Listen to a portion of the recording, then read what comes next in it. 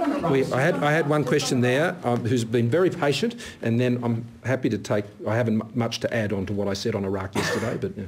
Thanks, Prime Minister. Just on your ad detailing the. ADF assistance, the Australian Defence Association has labelled it a clear breach of the non-partisanship convention applying to both the ADF and ministers. Mm. I just wanted your response on that. Well, I think this issue has um, received a lot of attention. Let me just stress firstly um, that the postings that we've made in, in messages has been to inform the community about what the Commonwealth Government is doing.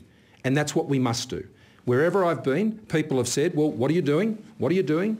What are you providing? What is the Hello, you're watching ABC.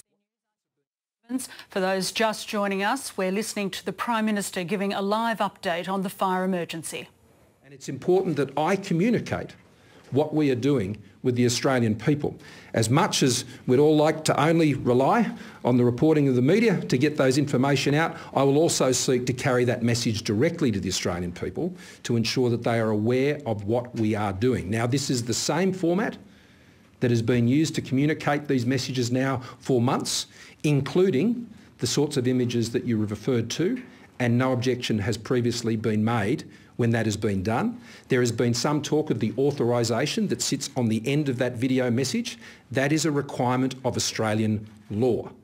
It is not something that I can post on my social media page without carrying that uh, authorisation. That does not mean it is a political message in any way, shape or form. It is just complying with Australian law. As you know, the opposition, the Labor Party and other parties have similar authorisations on the back of very similar types of messages that they have been conveying on their commentary about these events. So um, where that can be improved, I'm happy to take the helpful suggestions that have been made, but we've been acting in accordance with the same procedure we've had in place now for many, many months.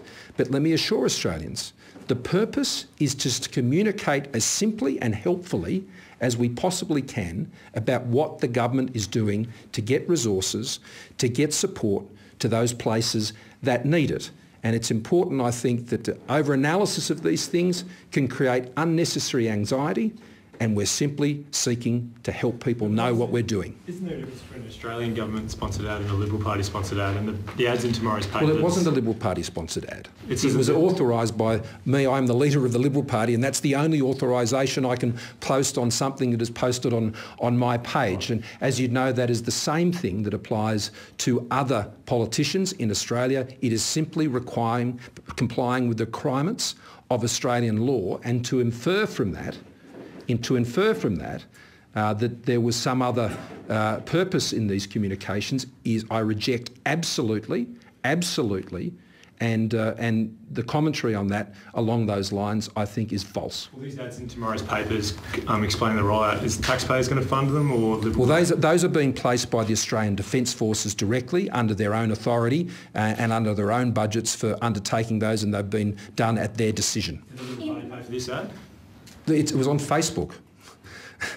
I mean, it, it's put together. It's put together in by my own office, and and uh, th- there is there are no real honest expenses that are of any significance that are attached to making a Facebook post.